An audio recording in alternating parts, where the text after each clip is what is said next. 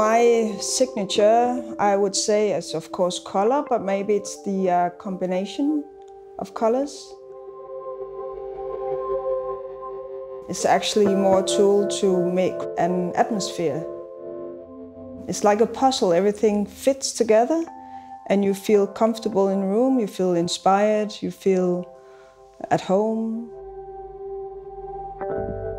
So maybe I put a blue and a purple together with a yellow or pink, but that's because it makes sense, not to, you know, exaggerate anything. It just just makes sense. Panton was very un-Nordic or not very Danish in his design language. He really pushed the button to do something different. I think it's really refreshing that we in Denmark have room for that, that we can try other things than oak and grey tones. And I really hope that I can carry that torch further on and show that we do other things than just what is expected.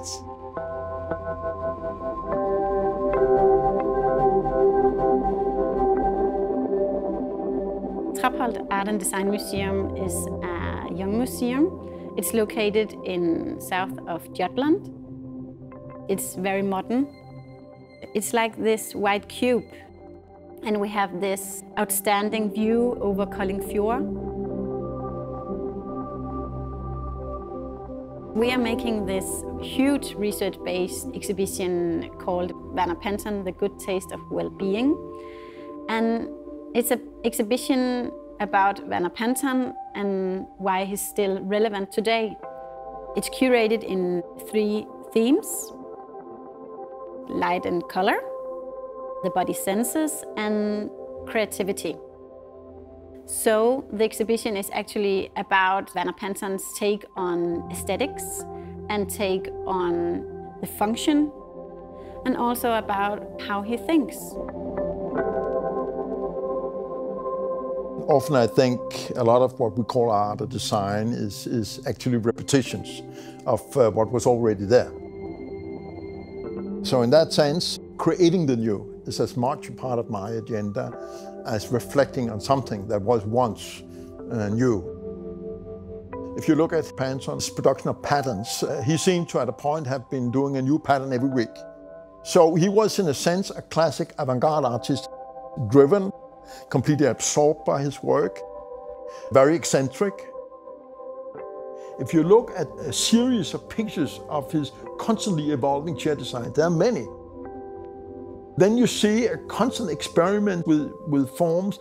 And this kind of interest in making with very basic forms, very basic structures, making something that would build up to, uh, to a much more complex articulation, that's very typical, I think, of Panton. What characterizes Louis Poulsen as a brand is our long heritage and legacy, which is a, a long tradition and a long history. So that's part of our uh, DNA, but it's also very much of uh, refining the way of working with light and design. Verner Panton would be experimenting with colors, he would be experimenting with form, but the form follows function is very clear and also the geometries or the balance and the way that he's working with proportion. Timelessness is where things make sense. It's a space where you combine old with new because old furniture or lighting or whatever has its time in it and when you put it together with our time it, it creates something new. Arne Jacobsen, Børge Mogensen, Hans-Jørgen Wegner, Poul Henningsen, they were focused on to be timeless all the furnitures and buildings and interiors, it should be timeless for them. But for Verner Panton, his main focus was to be in his own time. With this exhibition, we'll come all around Verner Panton and uh, find out if he's still relevant today and why he is.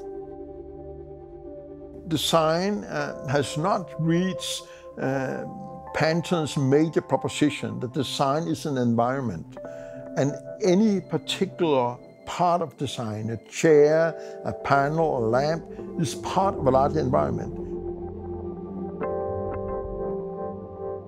So when he talked about environments, as he did, where you should be able to change the interior of houses according to the mood of the people inside the house, then it was a vision, but not a vision beyond that. He wasn't into manifestos. He was a practical person that simply put his ideas into work.